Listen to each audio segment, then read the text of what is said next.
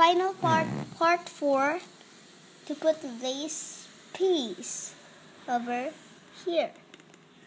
Now we have Lego City Surfer Rescue. Build, review. You'll see the review next time. Bye.